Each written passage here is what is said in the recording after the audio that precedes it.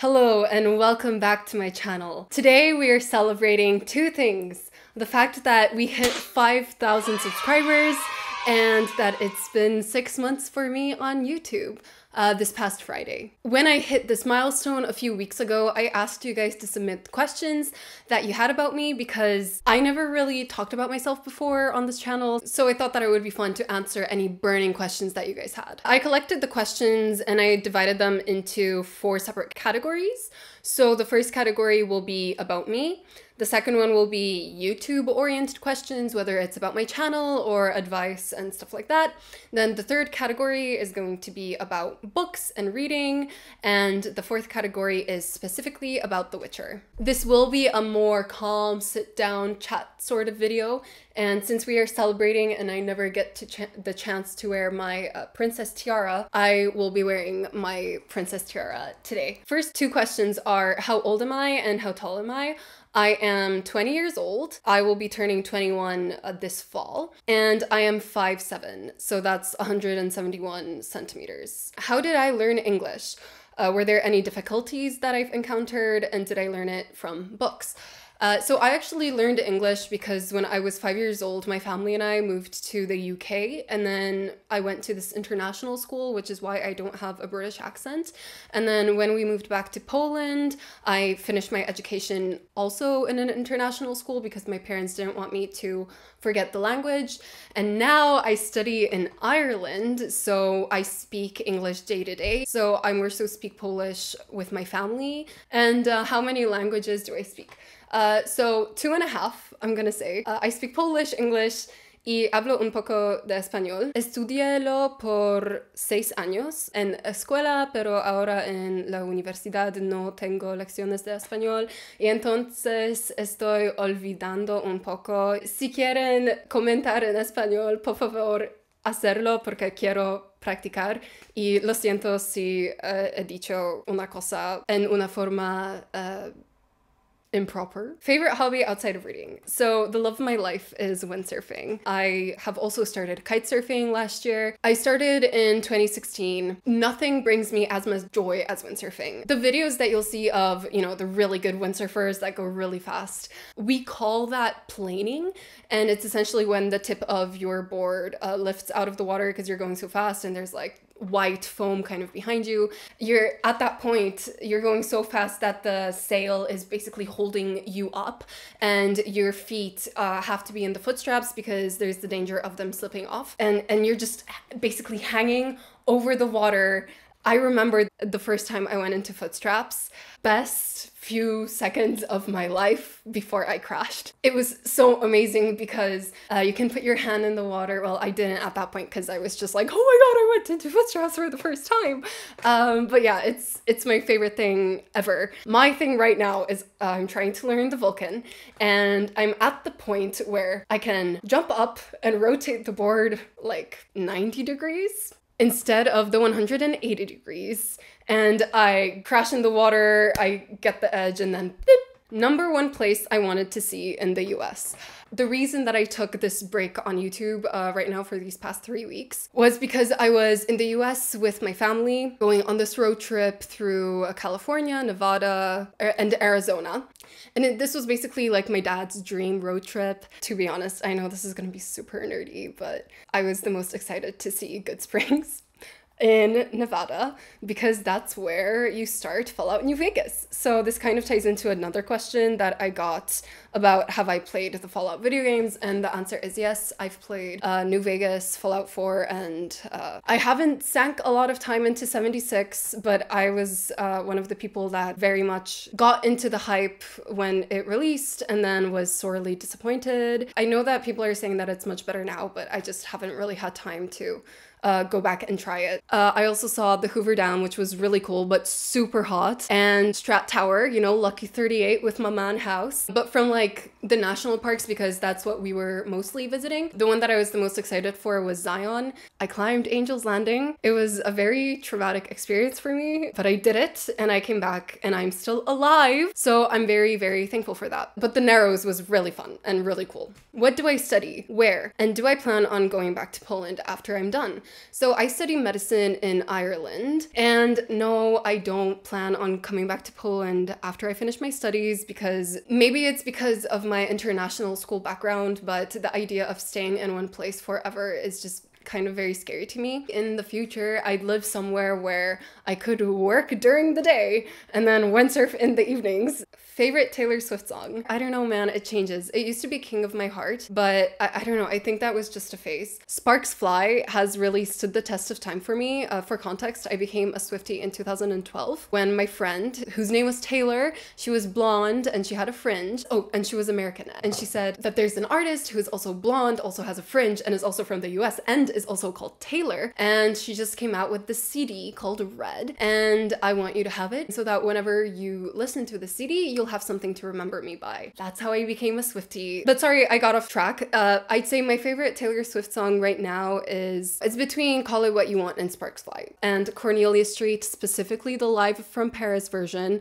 Would I like to write a book? And if yes, then what would be my inspiration? The answer is yes. And I do have an idea that I've had for quite a while, but the thing is, I know that I'm not good enough to write it yet. And so before I'd write that book that I really want to write, I have this kind of plan of writing three books before that. I know that I've only made a few videos for this channel so far, 20 as I'm recording this. And so maybe my tastes haven't come across um, too intensely yet, uh, like what I specifically enjoy, but I really like books that have some sort of logical argument that they are making, but they are conveying it through characters, plot, and setting. But that's why I enjoy books like Oathbringer, The Wisdom of Crowds, and Recursion, because I feel like all of those books have a central theme, a central idea, a central question that they are exploring through a variety of different points of view. The big question that I kind of have in my head is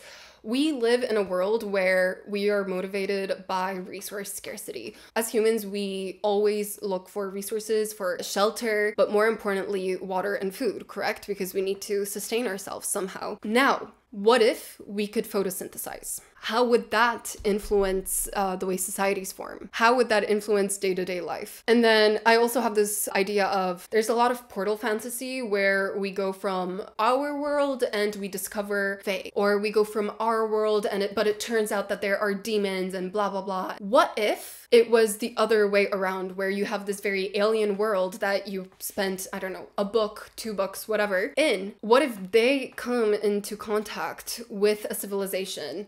that is very similar to our own today. This is years, years, years away, so I'm focused on getting my degree first and uh, setting up this channel. Next, I have a few YouTube questions that you guys submitted. Uh, the first one was, will I make videos about games slash TV shows if they are not related to books?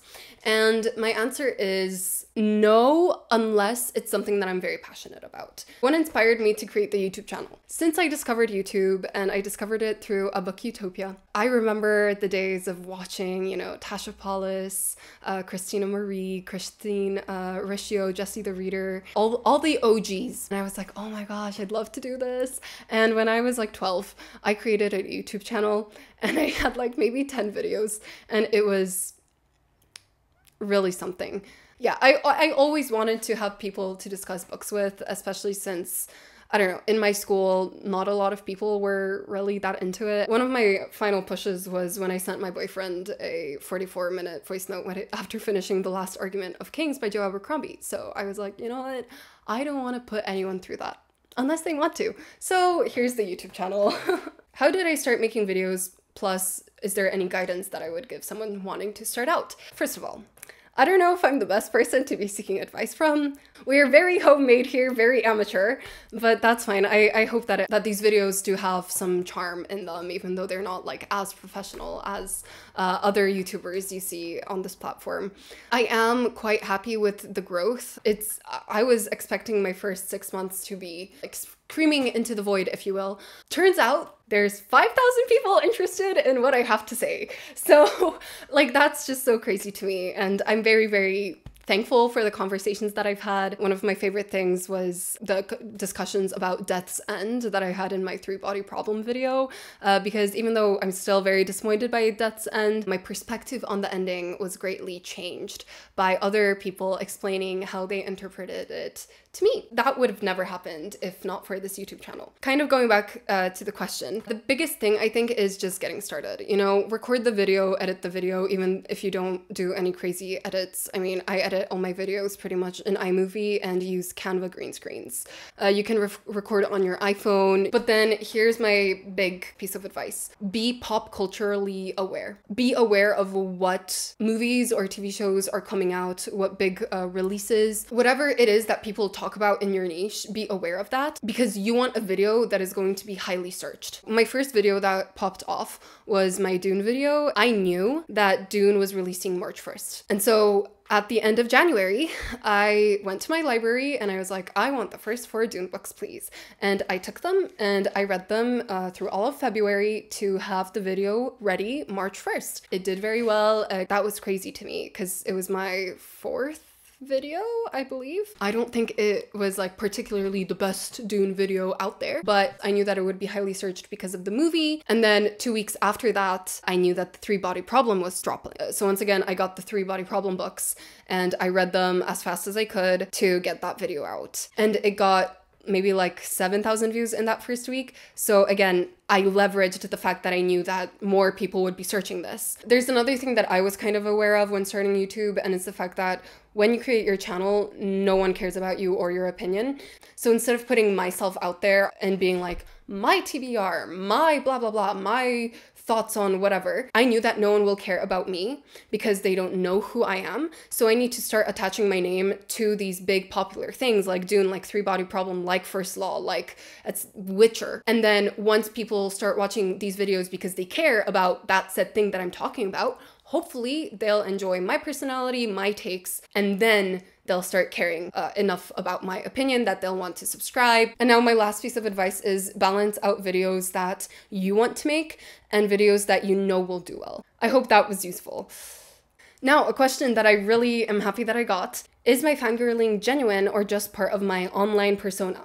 I'm very happy that I got this question because something that I didn't really understand as a viewer was even though I am being genuine in my videos, by watching my videos, I don't think a person would know who I am. What do I mean by that? I have the tendency to ramble a lot, and it's not very interesting when I watch it back. I have to cut the video down to the best 20 or ideally less 15 minutes that I know will do well. And usually it's the parts where I have a very strong opinion or I fangirl or I really hate something or whatever, just because that's more interesting and engaging to watch than me just being like, yeah, this was fine, this was fine, this was fine. And that is why my Witcher videos, I think, also did well because The Witcher is something I'm genuinely very, very passionate about and have very strong opinions on.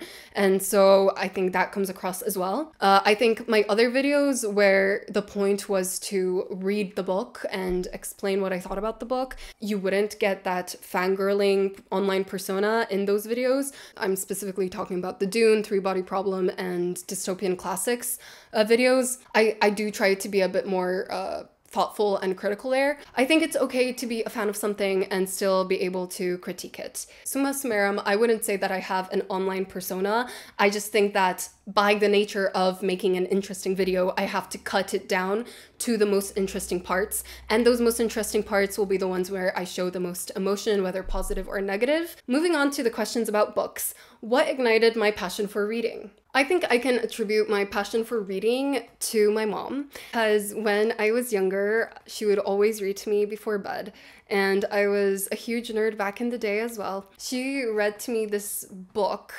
and there's videos of me having memorized the text and basically as she's reading it i'm saying it along with her. And back then i couldn't read but i was very invested in reading the story along with her. And yeah honestly i always was kind of reading something so it's very hard for me to pinpoint when it started. How much do i read in a week? Uh, this really depends. Back in 2020 i was Uh, crazy and I would wake up at 5 a.m. every day to read 100 pages and then I would, I don't know, listen to an audiobook or if I read anything later, it would be an extra to that 100 pages. But I stopped doing that after 2021, I think. I was finishing high school and it was just very stressful. And now as a med student, I just that's just not doable for me. So how much I read in a week really does vary. How can you read faster? Audiobooks and a long commute. Uh, what's a book quote that has stayed with me? I hate to be that girl, but I'm bringing up The Catcher in the Rye again, and it's the last sentence. I'm going to read a bit more than just the quote uh, that people usually say, just for context. DB asked me what I thought about all the stuff I just finished telling you about. I didn't know what the hell to say. If you want to know the truth, I don't know what I think about it. I'm sorry, I told so many people about it. About all I know is I sort of miss everyone I told about. Even old Stradlater and Ackley, for instance. I think I'm gonna miss that goddamn Maurice. It's funny. Don't ever tell anybody anything. If you do, you start missing everybody. Opinion on A Song of Ice and Fire. I watched the first six ish seasons and I stopped right after the Battle of the Bastards because I just got bored. Uh, I'm waiting for Winds of Winter to release so that I can, and then I'll read the entire thing. What is my desert island book? Uh, probably like a survival guide, to be honest, uh, because I don't have any survival skills. So I would want to bring like an encyclopedia of what I can eat, what I can't eat. No, but to be honest, I don't know. Maybe I would take uh, Les Mis because I've been meaning to read that book forever, uh, but it's probably not going to happen this year since I am making my way through War and Peace. Now, moving on to the next segment where I answer the questions about The Witcher. The first is Would I like to do a Witcher playthrough? And my answer is no, not on this channel. Uh, a few reasons. First of all, I don't have the equipment for that. Second of all, I get very shy, uh, and my skills in combat are not great. And, you know, I'd be doing it for the story, and I know the story front to back, so I feel like it wouldn't be as interesting because, like, again, it's very hard for me to fake my excitement or fake my emotions for something. So, so it would be hard for me to fake my emotions for the big reveals and the big plot points because I just, I kind of know them. But if you want to see someone who is very interesting, I recommend It's Bubble. Uh, she's very funny, and I love her reactions to everything. Do I play other video games? And if so, what are my favorites? Yes, so I do play other video games. Um, I like the original Halo. I love the Fallouts. I really love the Elder Scrolls. Other than that, I played The Last of Us. I really want to play Red Dead Redemption 2. If I could live in either the Witcher universe or the Lord of the Rings universe, which would I choose and who would I be in it? Uh, Witcher universe, obviously. Uh, even though, again, I love the Lord of the Rings movies, The Witcher just feels like home to me. And I'd love to be a Rusałka or a Dryad living my cottagecore lifestyle in Brokilon Forest. Or I'd love to be a sorceress. They're so cool. Uh, the Lodge are my favorite, even though they're kind of evil, but I love the Lodge. I have a question that wants me to clarify my thoughts on Triss. I don't hate her, okay? I, okay. I, how do I explain this? I think she's a well written character, especially with how she's expanded upon greatly in the video games, especially since she's kind of not that relevant uh, in the books, at least compared to other sorceresses like Philippa and Fringilla, and of course Yennefer. Uh, but overall, I think she's a very compelling and interesting character. Any character that makes me have strong emotions, I think something was done correctly. Uh, and then building on that, I have a, I had another question asking me, would I rather romance Triss on every playthrough or never play Elder Scrolls 6? I'm very scared that Elder Scrolls I'm very scared that Elder Scrolls 6 won't be able to nail the landing, if you will but I really want Elder Scrolls 6 to be good. And I think that if I had the choice between it being awful or never releasing, I would prefer for it to never release. And I think Romancing Triss would actually give me brain damage on every playthrough. Like, I think maybe once I could live through it, but it would just be very traumatic for me. So I think I'd have to choose never to play Elder Scrolls 6. Any Polish folklore slash classic books that I would recommend. And one that I would recommend, it's not exactly folklore folklore, but uh, if you want to learn about Polish folklore, I think the best place to go to is uh, Dziady. I, I'll put the English translation up here. Uh, but it's basically this uh, very classic play, and uh, The Witcher does take a lot from that. But then my personal favorite, I think, is Balladyna by Słowacki. And it's this very foundational Polish romanticism text. Basically, it's this tragedy about these two sisters, uh, but it's also the question of destiny and love, and very big on, uh, you know, traditional Polish imagery, and it's it's a fan it's it's a favorite of mine. I'd actually love to see a retelling of it in the Witcher world. So, you know, we have Pan Twardowski, we have Strzyga, uh, can Balladyna be next? I don't know, let's see. And the last question is Are there any books that are similar to The Witcher? And I'd say that uh, the big one, I think, uh, is The First Law by Joe Abercrombie. Um, it's not the Monster Hunter or, you know, that kind of found family sort of thing. But when it comes to tone, subversion of tropes, char- and characters, I think that Joe Abercrombie is pretty much like the British version of Sapkowski. And so I think that if you liked The Witcher, you're gonna really like The First Law. So give it a shot if you want something fun to read. That being said, please push through the blade itself because it's kind of a slog. But once you get to Before They Are Hanged, you're off to the races and you're gonna have a great time. The humor is there uh, as well, which is something that I really love in Sapkowski and Abercrombie's writing because both of them talk about such bleak things and with, you know, some cynicism, some hope, but uh, fairly bleak things. Uh, but they sprinkle in humor, and I love their humor. I think it's very similar. Uh, anyways, that was the last question for the Q&A. I tried to answer as many questions as I could. But yeah, I'm so, so grateful for every single one of you, every single comment, every single like.